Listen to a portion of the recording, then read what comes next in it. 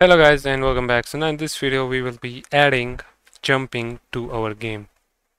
Okay, so let's go ahead and do it.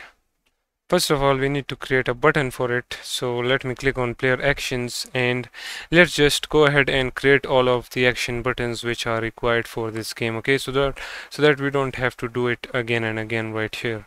So the next action button will be for the shoot. So I'm gonna just duplicate that one and name this as shoot okay I'm gonna remove the button east and shift and I'm gonna add another binding and this time the shoot will be the mouse uh, left button. So mouse where is it? Search for left. Okay here it is left button mouse okay after the shoot we will duplicate it and this time name it this one as scope. And the scope button will be our mouse right button. So right mouse button. Alright then we have the reload button. So let me change this to reload. And in here select the R keyboard key. Okay after the reload we have the crouch button. Okay so you can name this as C if you want or crouch or whatever you want and just select C keyboard key. Duplicate it again. Name this as jump. Okay and for the jump we will use the space keyboard key. For the joystick or your controller you can select whatever key you want for the jump okay? Then for the pause uh, I think we don't have a pause game button in here because this is a multiplayer game so we will not be adding that okay? I think that is it. We can now close it and then save it. And then let's add jumping so open up the input manager script and in the input button flag create a bool by the name of jump input. Then you can scroll down and let's read its value. So I'm just gonna copy this line which is by which is the sprint performed and paste it. And instead of sprint we will type jump. Dot performed equals to sprint input. Instead of sprint input we will call the bool which is jump input and set it to true. Okay and we don't want this button uh, to be like the sprint button in which we have to hold it. We just want that when we press the jump button once it should perform a jump okay? So now in order to do that we will create a enumerator type method by the name of handle jump. And first of all right in here we will wait for 0.2 seconds and then we will save the jump input is true then set it to false. That is all we have to do. Then in the handle all inputs let's just call this method. And since it is a enumerator type method you need to type start coroutine and then handle jump input. Okay it is uh, it should be handle jump input okay handle jump input. Now once we have this let's now click on player movement. And in a player movement script right after the rotation speed let's add a float by the name of jump force. Set it to 5 then after this we need to create a movement flag I mean we need to create a flag for checking if the player is on the ground and if the player is on the ground then in that case only we will jump. Okay so we'll say public bool is grounded. Then in order to check that if the player is on the ground we will have to check the player feet that if that is touching the ground and in order to check it we need to add gravity. Okay a rigid body comes with a built-in gravity but now since we are adding jumping and we are checking if the player is on the ground or not we have to add this. And uh, of course we will have to add our own falling speed.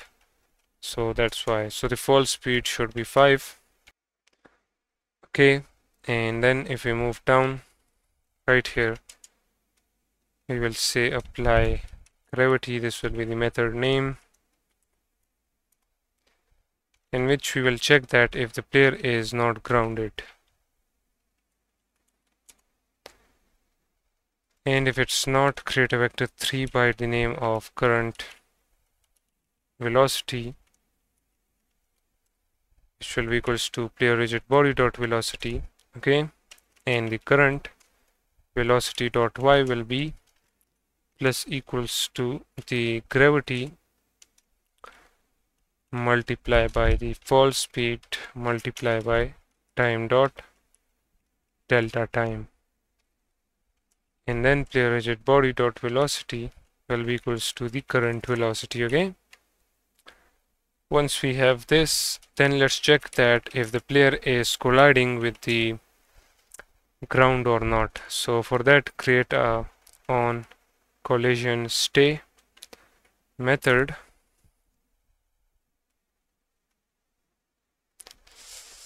Okay name this from other to collision. And in here we will say that if the player is grounded uh, I mean we will set these grounded bool to true and that's it. And then create one more method uh, which is on collision exit.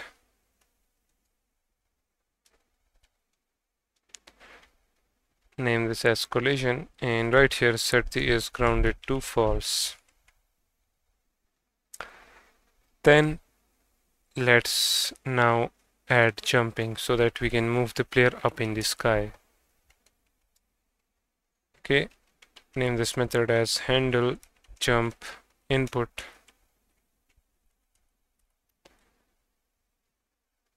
Okay let's just name it as handle jump just handle jump. We will check that if input manager dot jump input is true and is grounded is true as well then in that case if the player is uh, on ground then in that case we will only jump. So in order to jump we will say player rigid body dot add force vector 3 dot up. We want to move in the upward direction by the jump force and that force mode should be impulse. Okay and right here you can play animation if you want but I will not be playing animation since in the introductory video we don't have any animation for jumping. Alright and I will suggest that you guys also don't add that. Okay just set the is grounded to false right here and that is it. Then you can just scroll up and in here you can call the apply gravity method. Okay and then add a update method right here.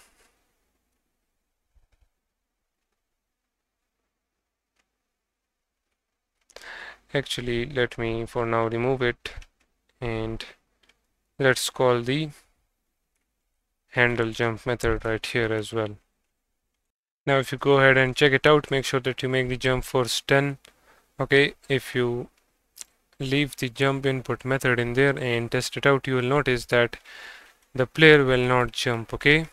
As you can see. And let me show you why.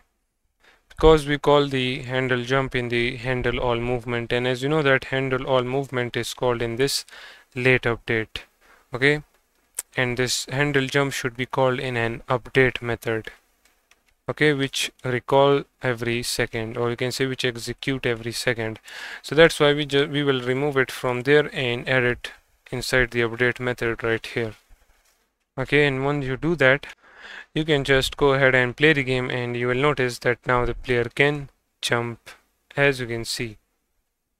Okay the player can jump perfectly fine alright so after jumping we need to add crouching to our game. So in the next video we will do that. See you guys in the next one